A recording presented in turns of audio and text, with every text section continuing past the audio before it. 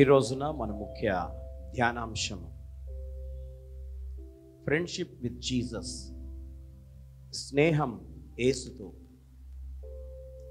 దేవునికి మహిమ కలుగును గాక దేవుని బిడ్డారా ఈరోజు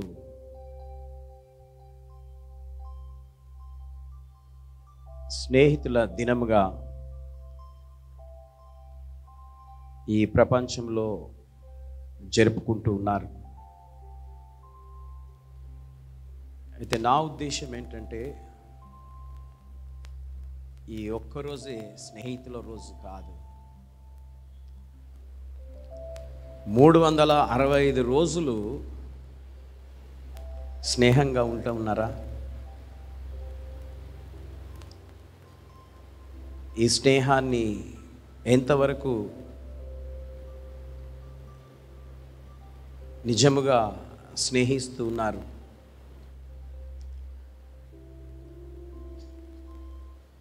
ఈరోజు ఒక్కరోజే సంబరమా? నాకు మాత్రం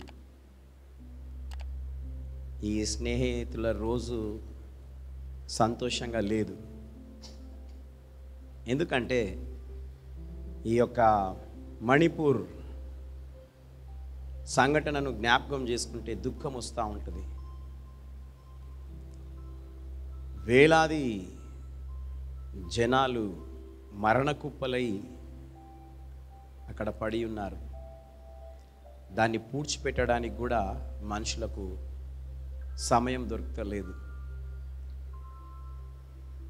వారు భయంతో జీవిస్తూ ఉన్నారు. మనమేమో స్నేహితుల దినమని స్నేహాన్ని చేస్తూ ఉన్నాం.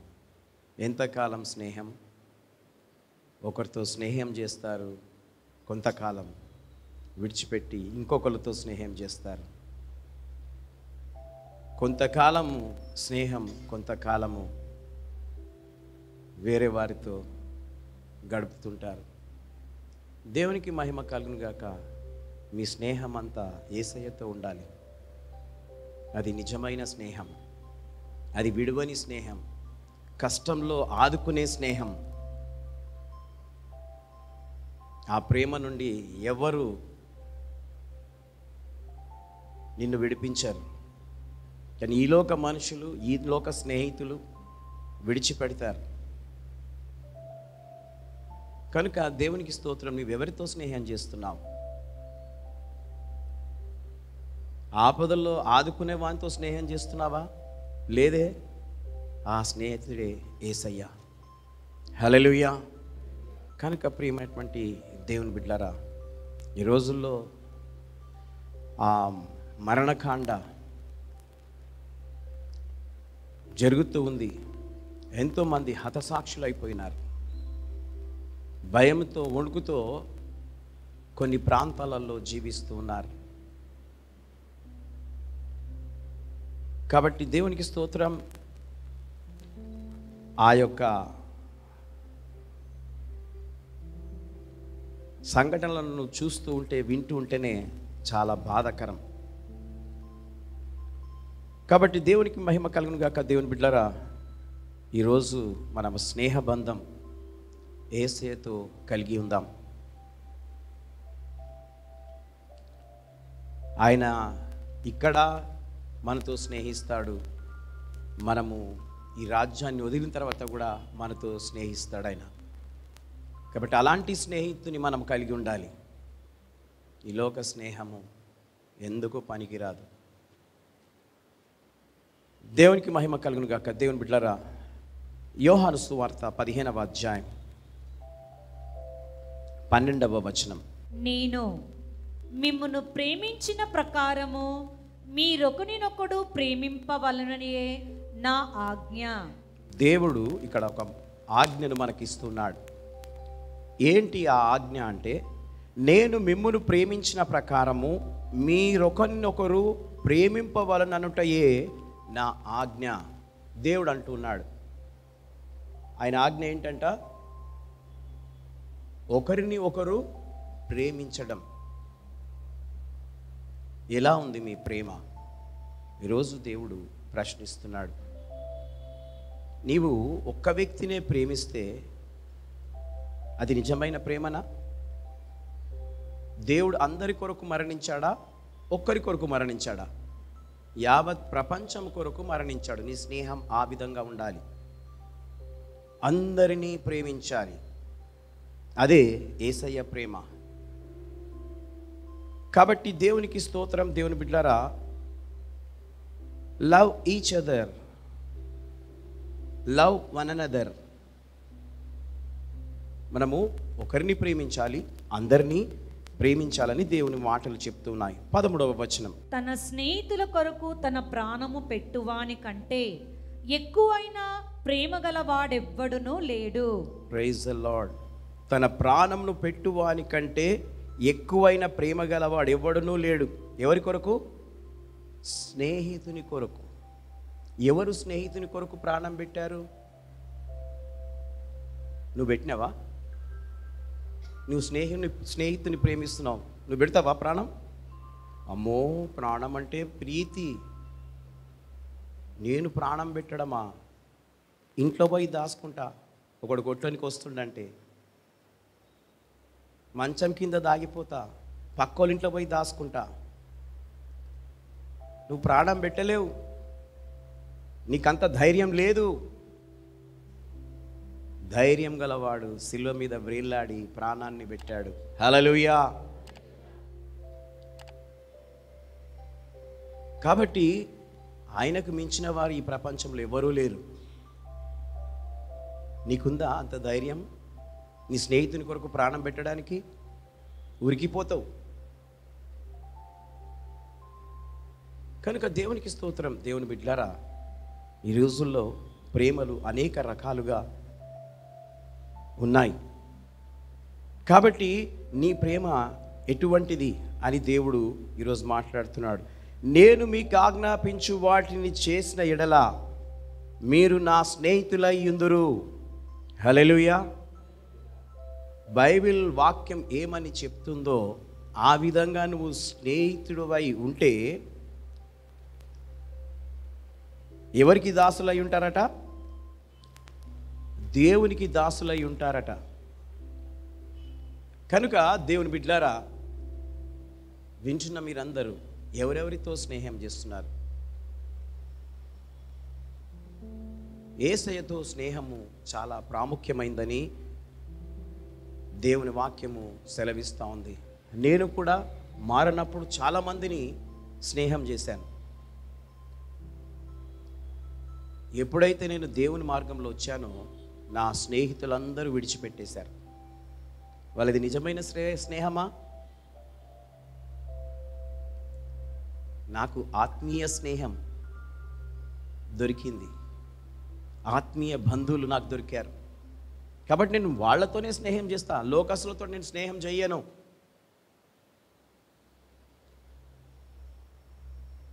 కనుక ఈరోజు నీవు ఎవరితో స్నేహం చేస్తున్నావో దేవుడు దేవుని మాటల ద్వారా మనతో మాట్లాడుతున్నారు. దేవుడు ఏదైతే ఆజ్ఞాపిస్తాడో ఆ ఆజ్ఞను మనం పాటించిన ఎడల మనము దేవుని స్నేహితులం అవుతామట. హలలుయ కాబట్టి దేవునితో స్నేహం కలిగి ఉంటే మనకు అన్నీ కూడా సమృద్ధిగా దేవుడు కలుగజేస్తాడు సహాయాన్ని చేస్తూ ఉంటాడు. ఫిఫ్టీన్త్ బస్ దాసుడు తన యజమానుడు చేయు దానిని ఎరుగడు గనుక ఇక మిమ్మును దాసులని పిలువక స్నేహితులని పిలుచుచున్నాను. దాసుడని తన యజమానుడు చేయు దానిని ఎరుగడు గనుక ఇక మిమ్మును దాసులని పిలువక స్నేహితులని పిలుచుచున్నాను. దాసులు ఎవరండి? చేతి కింద పనిచేసేవారు. వాళ్ళని దాసులు అని అంటారు. కాబట్టి యేసుప్రభు ఏమంటున్నాడు? నేను మిమ్మల్ని దాసులని పిలవను. నేను నా స్నేహితులని పిలుస్తాను. హలేలుయ దాసులు అని పిలిస్తే వాళ్ళని దూరం పెట్టినట్టే. స్నేహితులు అని పిలిస్తే పక్క కూర్చుని పెట్టుకున్నట్టు. దాసులకు స్నేహితులకు ఎంత డిఫరెన్స్ ఉందో చూడండి. స్నేహితుని అన్నీ చెప్తారు అన్నీ మాట్లాడతారు స్నేహితునితో. దాసునితో అవి చెప్పరు. కాబట్టి మన స్నేహితునికి మనం అన్నీ చెప్పుకోగలుగుతున్నాం. ఆయన పేరే యేసు. హల్లెలూయా. వేరే ఎవరికి నువ్వు చెప్పలేవు. కనుక దేవుడు ఈ రోజున ఈ మాటలు మాట్లాడుతూ మనను పురికొల్పుతున్నాడు దాసునని పిలవక స్నేహితులని పిలుచుచున్నాను. దాసులని పిలవక స్నేహితులు అని యేసుప్రభుల వారు పిలుస్తూ ఉన్నారు. నైన్టీన్త్ వర్స్ పంతొమ్మిదో వచనం. మీరు లోక సంబంధులైన ఎడల లోకము తన వారిని స్నేహించును. అయితే మీరు లోక సంబంధులు కారు. నేను మిమ్మల్ని లోకంలో నుండి ఏర్పరచుకొంటిని.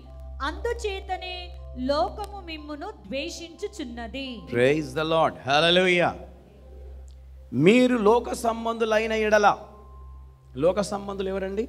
లోకాన్ని ఎక్కువగా ప్రేమించేవారు లోకస్తులతో ఎక్కువ స్నేహం చేసేవారు అన్యులతో ఎక్కువ స్నేహం చేసేవారు అన్యులతో తిరిగేవారు. మీరు లోక సంబంధులైన ఎడల లోకము తన వారిని స్నేహించును. లోకస్తులు స్నేహిస్తూ ఉంటారు లోక సంబంధం కలిగిన వారు. నాకు వాళ్ళు వీళ్ళతో స్నేహిస్తూ ఉంటారు లోకస్తులు. ఏమంటారు? లోకస్తులు ఒక స్నేహితురాలితో అరే ఒక మంచి సినిమా రిలీజ్ అయింది పోదాం నడు. కదా? అరే ఒక కొత్త చీర వచ్చిందంట అది కొందాం నడు.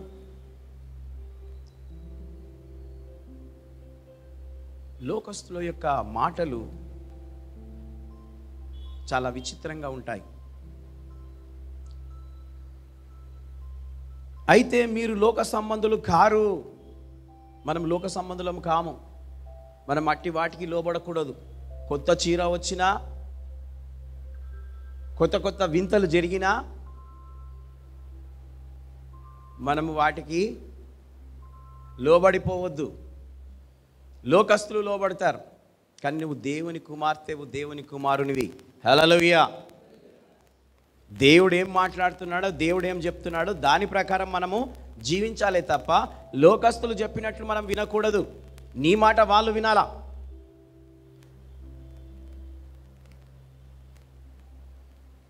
కనుక దేవునికి మహిమ కలుగును గాక నేను మిమ్మును లోకము నుండి ఏర్పరచుకొంటిని. మీరు ఒక సమయంలో మీరు లోక సంబంధులుగా ఉన్నారు. అందులో నుండి మిమ్మలను ఏర్పరచుకున్నాను ఎన్నుకున్నాను. ఏసయ్య అంటున్నాడు. మీరు లోక సంబంధులు కానే కారు. నేను అందులో నుండి మిమ్మలను ఏర్పరచుకున్నాను.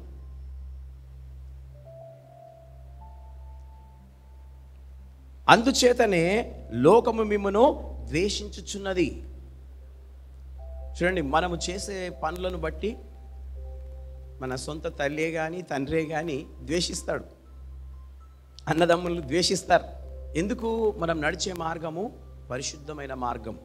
కనుక మనను వాళ్ళు ఒకలాగా విషపు చూపు చూస్తూ విషమైన మాటలు మాట్లాడుతూ ఉంటారు. విషకరమైన మాటలు మాట్లాడుతూ ఉంటారు. కాబట్టి దేవుని బిడ్డరా దానికి మనం లోబడొద్దు దానికి మనం తల వంచొద్దు. దేవునికి తల వంచాలి దేవుడు చెప్పినట్టు మనం వినాలి. ఎప్పుడు మనం ఆయన మాట వినగలుగుతాం ఆయనతో స్నేహం చేస్తే. హలలుయ సరి అయిన స్నేహము మనము దేవునితో చేస్తే అప్పుడు ఆయన మాట వినగలుగుతాం లేకపోతే దేవుడు చెప్పినా వినం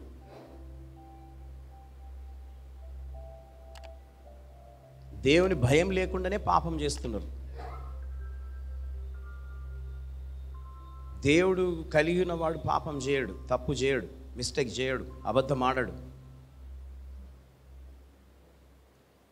కనుక ప్రియమైనటువంటి దేవుని బిడ్లారా ఈరోజు నా దేవుడు ఎవరితో స్నేహం చేస్తున్నారు ఏసుతో స్నేహం చేస్తున్నారా? లేక లోక సంబంధులతో స్నేహం చేస్తున్నారా? ఈరోజు ఈ మాటలు మాట్లాడుతూ దేవుడు మనల్ని సత్యంలోనికి నడిపిస్తూ ఉన్నాడు. మొదటిది నా స్నేహితులై ఉండాలి.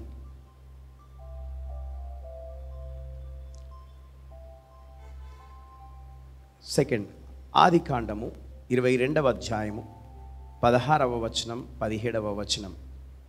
Genesis twenty second chapter sixteenth and seventeenth verse నీవు నీకు ఒక్కటే అయ్యున్న నీ కుమారుని ఇయ్య వెనుతీయక ఈ కార్యము చేసినందున నేను నిన్ను ఆశీర్వదించి ఆకాశ నక్షత్రము వలె సముద్ర తీరమందలి ఇసుక వలె నీ సంతానమును నిశ్చయంగా విస్తరింపజేసెదను.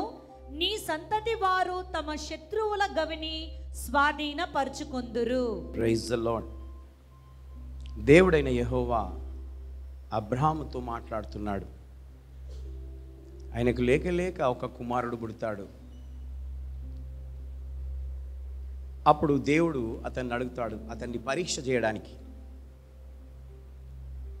నీ ఏకైక కుమారుణ్ణి నాకు బలిగా అర్పిస్తావా? అని అంటాడు. అబ్రహం ఏం చేస్తాడంటే ఆయన కుమారుణ్ణి బలి ఇవ్వడానికి తీసుకొని వెళ్తాడు.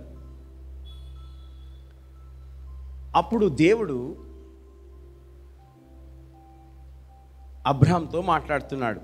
నీవు నీకు ఒక్కడై ఉన్న నీ కుమారుణ్ణి ఇయ్య వెనుతీయక ఈ కార్యం చేసినందున నేను నిన్ను ఆశీర్వదించి ఆకాశ నక్షత్రములను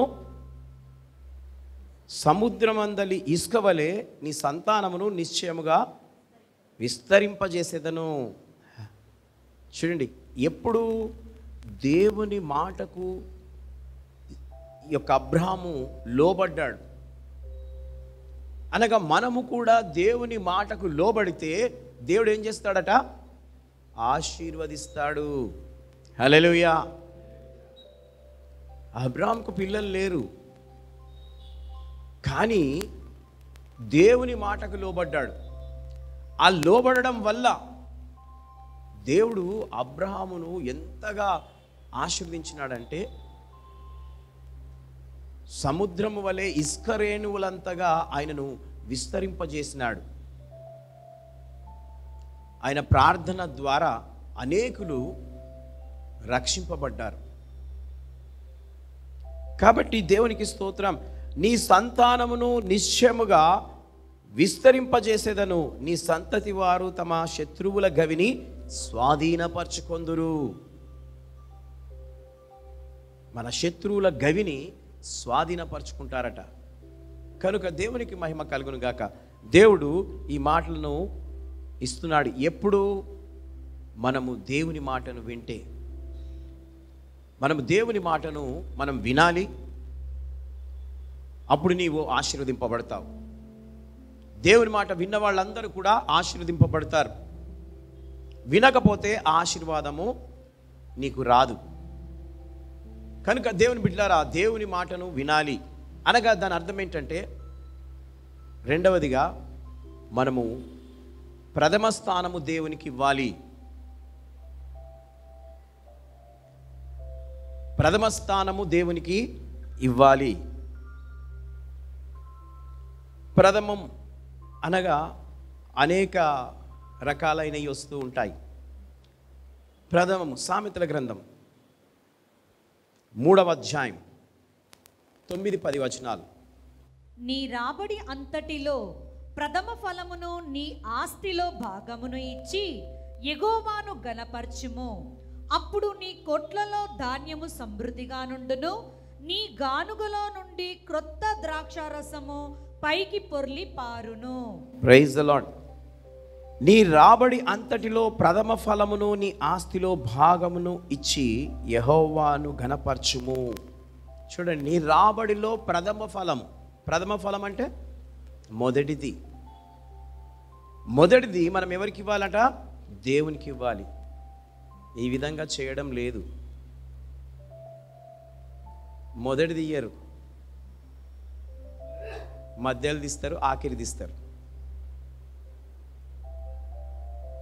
రాబడి అంతటిలో ఏదైనా సరే నీ ఇంట్లోనికి మొట్టమొదటిగా నీవు డబ్బులతో ఏం కొనుక్కుంటావో నీకు వచ్చిన రాబడి అనగా డబ్బు. మొదట నువ్వు దేవునికి ఇవ్వడం నేర్చుకో.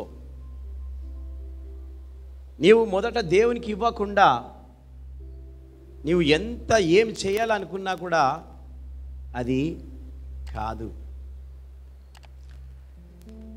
నీ ఆస్తిలో భాగమును ఇచ్చి యహోవాను ఘనపరచుము. అప్పుడు నీ కోట్లలో ధాన్యమును సమృద్ధిగా నుండును. నీ గానుగలలో నుండి క్రొత్త ద్రాక్షసము పైకి పొర్లి పారును. అనగా నీవు ఏది తెచ్చినా మొదట దేవునికి ఇచ్చినట్లయితే నీ ఇంట్లో ఏ కొదువ ఉండదు అని అర్థం. కాబట్టి దాన్ని దశమ భాగము అని అంటారు. ఫస్ట్ నీకు రాబడి ఎంత నీకు కష్టం ఉన్నా ఎంత ఇబ్బంది ఉన్నా అరే అప్పులు ఫస్ట్ డబ్బు రాగానే అప్పులు కట్టాలా కిరాయి కట్టాలా రేషన్ తెచ్చుకోవాలా ఇది ఆలోచిస్తాం కానీ దేవునికి ఇవ్వాలా అని ఆలోచించాం. దేవుని బిడ్డరా ఈ రోజుల్లో చాలామంది నష్టపోవడము ఎంత సంపాదించినా వారి ఇండ్లలో నిలవకపోవడం కారణం ఏంటంటే దేవుని మాట వినకుండా దేవునికి తమ ప్రథమ ఫలం ఇవ్వకుండా దాచుకుంటున్నారు గనక వర్ధిల్లడం లేదు దేవుని ఆశీర్వాదము రావడం లేదు మీ ఇంట్లో పొర్లి పారడం లేదు. కాబట్టి దేవునికి ఇచ్చేవారుగా ఉండాలని దేవుడు ఈ మాటలు మాట్లాడుతున్నాడు. First Kings seventeenth chapter thirteenth verse మొదటి రాజుల గ్రంథం పదిహేడవ అధ్యాయం పదమూడవ వచనం. అప్పుడు ఏలియా ఆమెతో ఇట్లనను భయపడవద్దు పోయి నీవు చెప్పినట్లు చేయము. అయితే అందులో నాకొక చిన్న అప్పము మొదట చేసి నా యొద్దకు తీసుకుని రమ్ము. తర్వాత నీకును నీ బిడ్డకును అప్పములు చేసుకొనుము. ప్రైజ్ ద లాడ్ సారేపాతు అను ఊరిలో ఒక విధవరాలున్నది. ఏలియా అక్కడికి వెళ్ళాడు. ఆమెతో ఇట్లా అంటా ఉన్నాడు. ఆమె పుల్లలేరడానికి ఊరిలోనికి వచ్చింది అప్పుడు దైవజనుడైన ఏలియా ఆమెతో అంటున్నాడు. ఏమని అంటున్నాడంటే అమ్మా నీవు ఒక చిన్న అప్పము చేసి మొదట నా దగ్గరికి చేసి తీసుకొని రా అంటాడు. ఆమె దానికి కొన్ని కింద మాట్లాడుతుంది. లేదయ్యా మేము చాలా పరిస్థితి బాగలేదు. మేము ఈ కొంచెం పిండిలో రొట్టె చేసుకొని తిని చనిపోదాం అనుకుంటున్నాము. నేను నా కుమారుడు అని అంటది. కొంచెమే పిండి ఉంది నాకు నా కుమారునికే ఉన్నది. నీకెడికెళ్ళి తెచ్చిపెడదు నువ్వు నాకు ఒకటి చేసి తీసుకొని రా మొదట తీసుకొని రా అంటున్నావు. ఉన్నదే కొంచెం అయితే మొదట నీకు ఇస్తే మేమేం తినాలా? నేనన్నా చావాలా నా కొడుకన్నా చావాలా అని సంభాషణ ఏలియాతో జరిగింది. అదంతా రాయలేదు కానీ నేను చెప్తున్నాను అనమాట తే ఏలియా అంటున్నాడు లేదు లేదు లేదు లేదు. నువ్వు ఫస్ట్ది నా దగ్గరికి తీసుకొని రా. అని అంటాడు. దేవునికి మహిమ కలుగును గాక.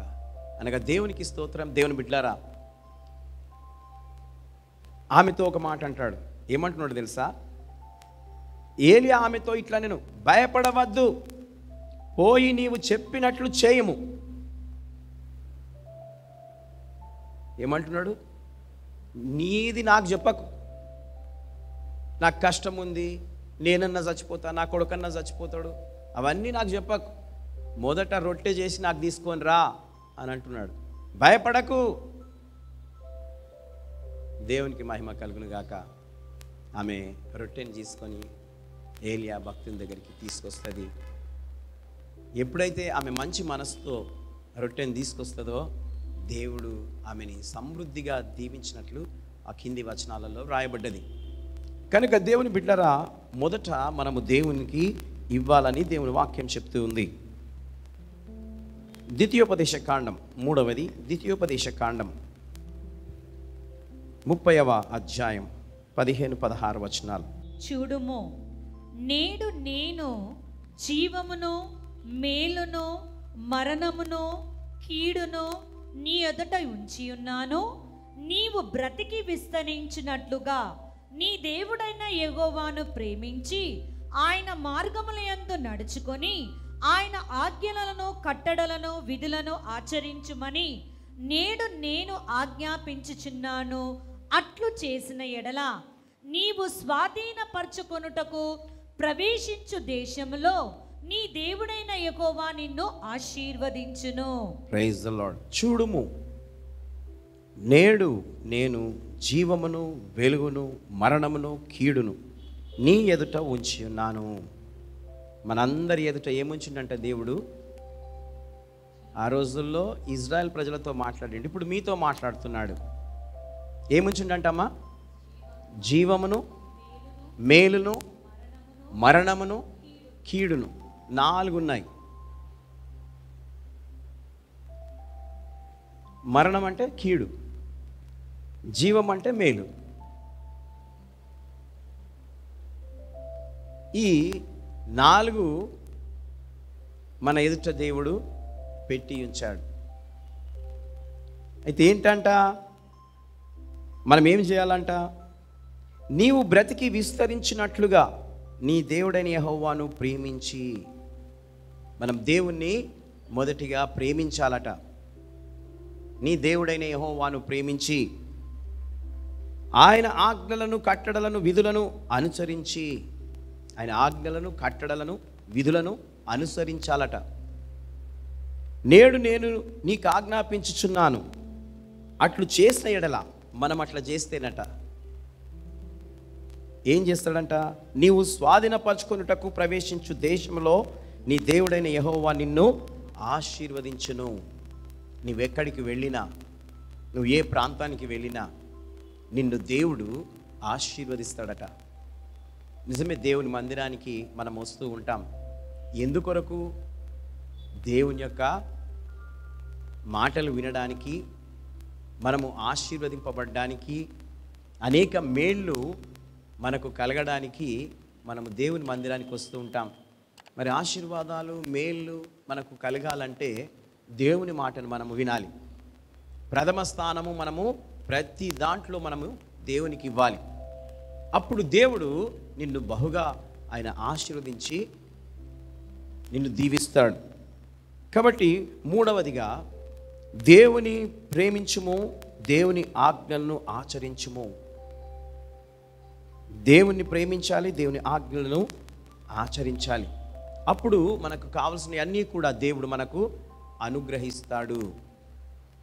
నాలుగవది దానియలు గ్రంథం రెండవ అధ్యాయం పదిహేడు వచనం. అప్పుడు దానియేలు తన ఇంటికి పోయి తన స్నేహితులైన అనన్యాకును మిషాయేలుకును అజేర్యాకును సంగతి తెలియజేసి తానును తన స్నేహితులను బబులోనులో తక్కిన తగిన జ్ఞానులతో కూడా నశింపకుండునట్లు ఆ కల యొక్క మర్మ విషయంలో పరలోకమందున్న దేవుని వలన కటాక్షము పొందు నిమిత్తమై ఆయనను వేడుకొనుడని వారిని హెచ్చరించెను. ప్రైజ్ ద లాడ్ దానియల గ్రంథం రెండవ అధ్యాయం పదిహేడు వచనంలో ఈ విధంగా వ్రాయబడ్డది.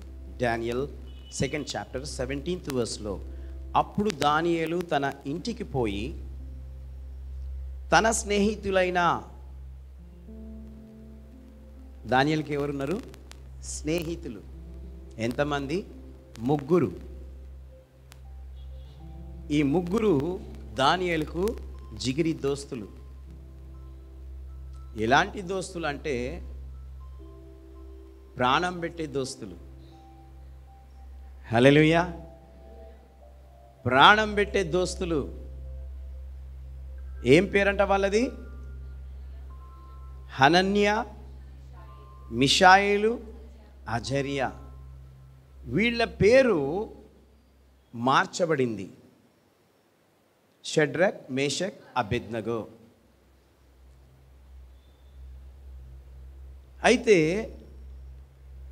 ఏం జరుగుతుందట? తానును స్నేహితులను బబులోను తక్కిన జ్ఞానులతో కూడా నశింపకుండునట్లు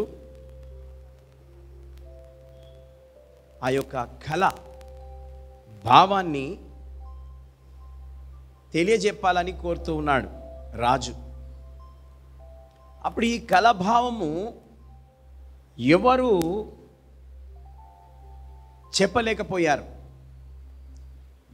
దానియేలకు దేవుడు రాత్రి దర్శనమందు ఆ కలభావాన్ని తెలుపుతాడు. హలెలుయా అప్పుడు ఆ కలభావాన్ని రాజు దగ్గరికి వెళ్ళి తాను చెప్తాడు. దేవునికి స్తోత్రం దేవుని బిడ్డారా రాజు ఆశ్చర్యపోతాడు. ఎక్కడిది ఈ జ్ఞానం? రాజునైనా నాకే లేదు. రాజ్యాన్ని పరిపాలిస్తున్నానే తప్ప నేను జ్ఞానం లేకుండానే పరిపాలిస్తున్నాను. నా రాజుకున్న జ్ఞానం కంటే దైవిక జ్ఞానము దానియేలుకు ఇచ్చాడు దేవుడు. హల్లెలూయా. కాబట్టి దానియేలు ఆ కలభావాన్ని రాజుకు చెప్తాడు. అప్పుడు రాజు ఆశ్చర్యపోతాడు. అనగా దేవునికి మహిమ కలుగును గాక దేవుని బిడ్డారా ఆ కళ యొక్క మర్మ విషయంలో పరలోకమందున దేవుని వలన కటాక్షము పొంది తిని పొందు నిమిత్తమై ఆయనను వేడుకునుడని వారికి హెచ్చరించెను. ఆ స్నేహితులకు అక్కడ కలభావాన్ని చెప్పేవారికి అందరికీ హెచ్చరికను చేస్తూ ఉన్నాడు. కాబట్టి ఆ స్నేహితులు దానియేళ్ళు వెంబడిస్తూ ఉన్నారు. దేవునికి మహిమ కలుగును గాక. దైవిక స్నేహం మనము కలిగి ఉండాలి. అనగా దేవునితో మనము స్నేహం కలిగి ఉండాలి. దేవుని బిడ్డలతో స్నేహం కలిగి ఉండాలి. ఒకరిని విడిచి ఒకరితో కాదు. ఎప్పుడు ఒకే తీరుగు ఉండాలా? ఎందుకంటే నీ నువ్వు నమ్ముకున్న దేవుడు నిన్న నేడు ఒకే రీతిగా ఉన్నాడు. కాబట్టి దేవుని బిడ్డారా నీవు ఎన్ని రకాలుగా మారుతున్నావో నీకే తెలుసు. మారే గుణం దేవుంది కాదు. మార్పు లేని గుణం దేవుడిచ్చే గుణం.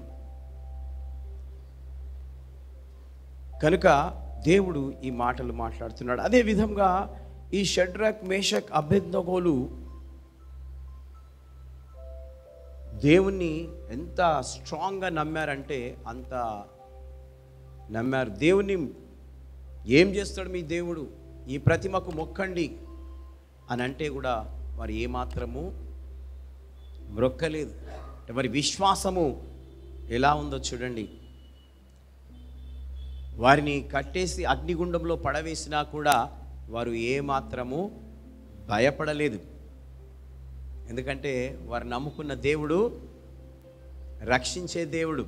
హలలుయ కనుక దేవుని బిడ్లరా ఈ రోజున దేవుడు స్నేహం కొరకు మాట్లాడుతూ కొన్ని చక్కటి విషయాలను మాట్లాడుతున్నాడు. స్నేహం గురించి చెప్తే ఎవరికి చెప్తారు? ఖాళీ యవనస్తుల గురించి. వాళ్ళకి ఎక్కువ జోష్. పెద్దోళ్ళకి ఎవరు చెప్తారు మరి వాక్యం? వాళ్ళకు కూడా కావాలా కదా? దేవుని వాక్యం. బట్ వాళ్ళు కూడా ఎవరితో స్నేహం చేయాలా? అమ్మలక్కలతో స్నేహం చేసేదానికన్నా దేవునితో స్నేహం చేస్తే మంచిది. అనగా ఎప్పుడు ప్రార్థన చేస్తుండాలి. ప్రార్థన చేస్తేనే దేవునితో స్నేహం చేసినట్టు. ఉత్తగా వచ్చి మజాక్ మజాకులు చేసుకొని మాటలు మాట్లాడి ఆ అక్కది ఈ అక్కది ఈ అన్నది ఆ అన్నది చెప్పుకుంటా పోతే నీకు స్నేహమే లేదు నీకు ప్రార్థన జీవితమే లేదు. వంద సార్లు ఈడ వచ్చి కూర్చున్నా వేస్ట్. పక్కకు తీసి పడేస్తాడు దేవుడు. పనికిరాని దానవు పనికిరాని వాడవు అని. కాబట్టి దేవునికి స్తోత్రం. దేవుని బిడ్డరా నీ స్నేహం నిజమ నిజమైన స్నేహంగా ఉండాలా? విడిచిపెట్టని స్నేహంగా ఉండాలా? ఇది విడిచిపెట్టే స్నేహం. కాబట్టి విడవని స్నేహమే అది నిజమైన స్నేహం. కాబట్టి దేవునికి మహిమ కలుగును గాక. ఈ రోజున దేవుడు ఈ మాటలు మాట్లాడుతూ నీ స్నేహము నా నమ్మకమైన స్నేహితునిగా ఉండాలి. ఎలా ఉండాలి? నమ్మకమైన స్నేహితుడు.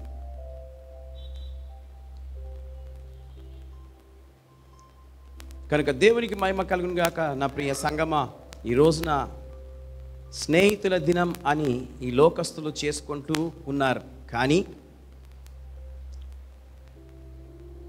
మేము అట్లా కాకుండా దేవునితో మీరు అనాలి. నీతో మేము స్నేహం చేస్తాం ప్రభువా. దేవుని వాక్యంతో మేము స్నేహం చేస్తాం. దేవుని వాక్యాన్ని మేము జాగ్రత్తగా వింటాం. వాక్యాన్ని విన్నవాడు దేవునితో స్నేహం చేసేవాడు. వాక్యాన్ని విననివాడు దేవునితో స్నేహం చేయలేనివాడు కాబట్టి దేవుడు మీతో ఈ మాటలు మాట్లాడుతున్నాడు. మా ప్రాణాలు పోయేంత వరకు మిమ్మను ప్రేమిస్తాం. ఎవరిని? దేవుణ్ణి. ఎప్పటి వరకు? ప్రాణం పోయేంత వరకు మనం ఏసయ్యను ప్రేమించాలి. అప్పుడు మనకు ఆయన నుండి సహాయము లభిస్తుంది. ఈ రోజున కొన్ని చక్కటి మాటలు మనం విన్నాం. స్నేహితుల దినం రోజున మొదటిది నా స్నేహితులై ఉండాలి యేసుప్రభుల వారు అంటున్నాడు. రెండవది దేవునికి ప్రథమ స్థానం ఇవ్వాలి. మూడవది దేవుణ్ణి ప్రేమించుము దేవుని ఆజ్ఞలను ఆచరించుము. నాలుగవది నమ్మకమైన స్నేహితులుగా ఉండాలి. దేవుడి మాటలు దీవించి ఆశీర్వదించిన గాక మే గాడ్ బ్లెస్ యూ